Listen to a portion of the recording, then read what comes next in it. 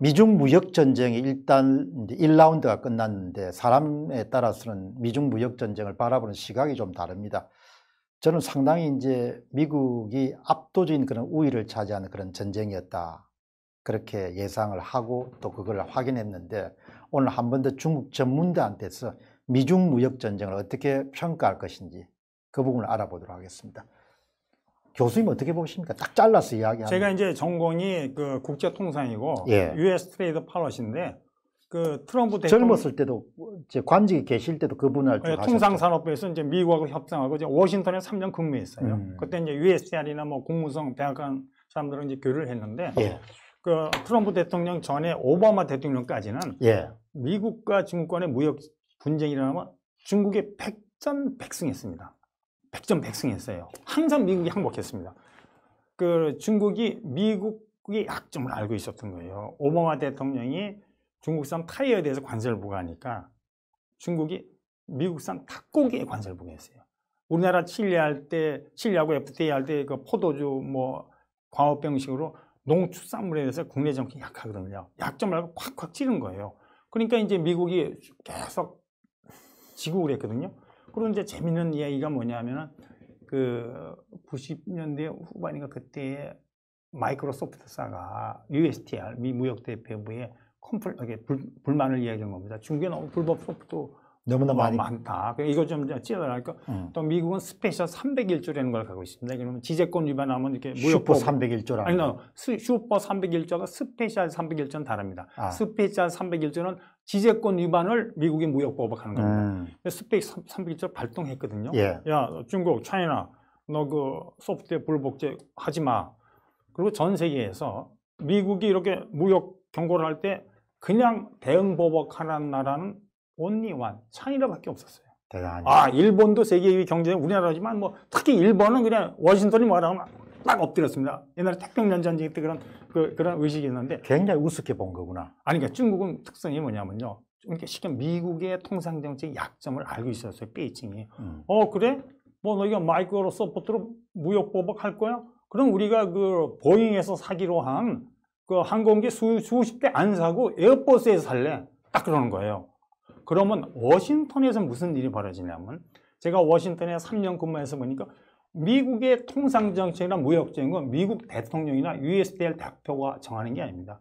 미국 업계의 이익을 대변해서 정하, 는 거예요. 그러니까 로비스트 그리고, 할때 네. 굉장히 그리고 중요해요. 여러분 워싱턴 DC에 가면 이렇게 점잖게 생긴 젠틀맨이 이렇게 명함 딱 보면 뭐 GM, 그 다음에 보잉, Vice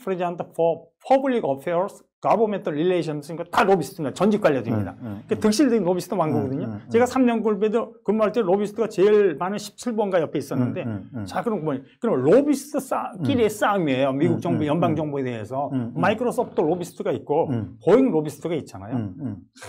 로비 파워가 게임이 안 되죠. 보잉이 음. 훨씬 세죠. 음, 그러니까 이제 미국이 스페인 철수하지 않습니까? 음. 이런 이제 중국이 재미 본 거예요.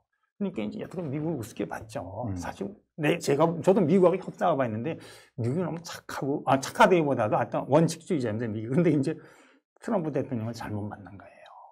제가 이제 트럼프 대통령 인간을 잘못 만난 거네. 아니 이게 정치가를 잘못 만난 거, 지도자를 잘 우리랑 counterpart를 잘못 만난 거죠. tough guy를 만난 거네.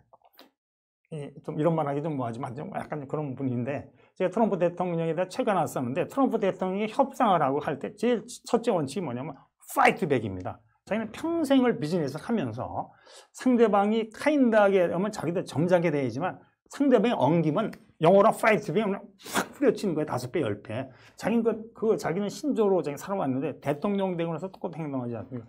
그 2018년 3월에 이제 철강에 대해서 25% 관세 매겼거든요.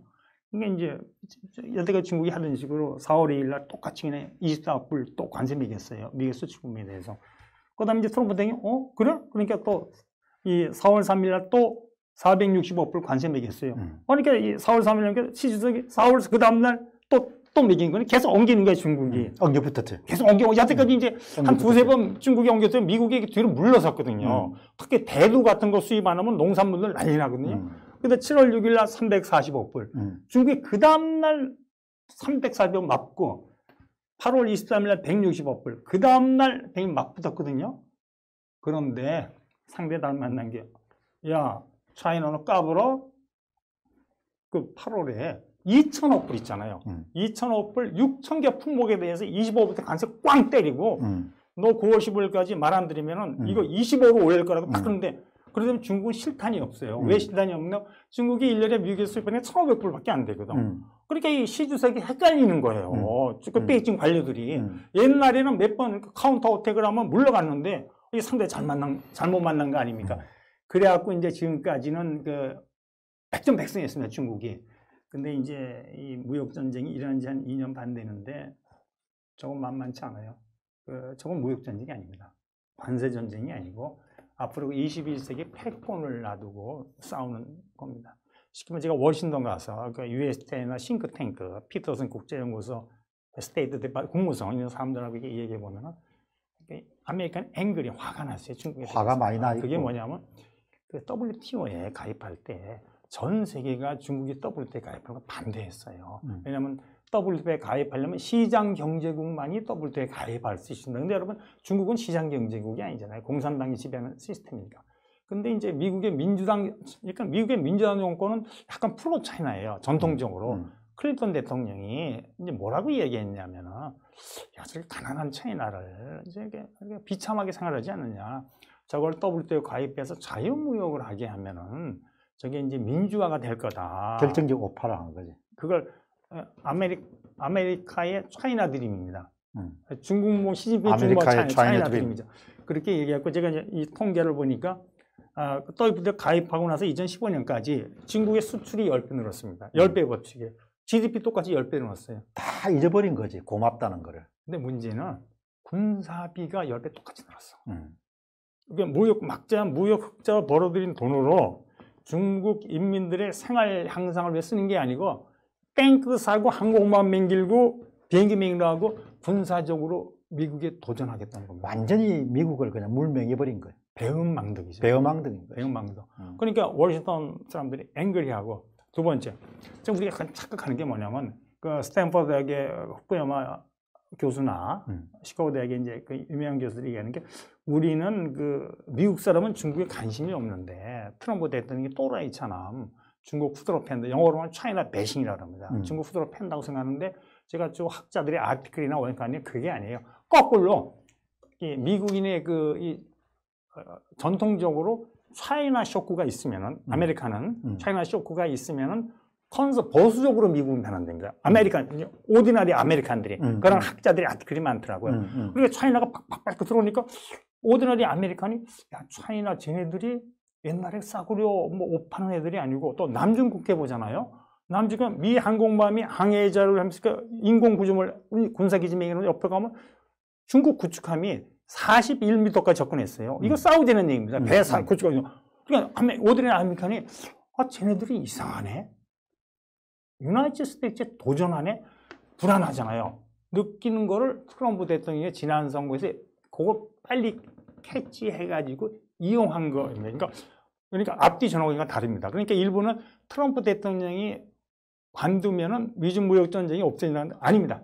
그건 아메리카가 차이나에 대해서는 그런 위기 의식을 느끼고 있기 때문에 트럼프 대통령이 누가 대통령이 돼도 미중 무역 전쟁은 계속됩니다. 굉장히 좀 독특, 이제 완전히 다르게 보는 것 같아. 우리를 예. 끝- 끝까지 기만한 그런 세력 정도로 보는 것 같아, 중국을. 그러니까 이제 네.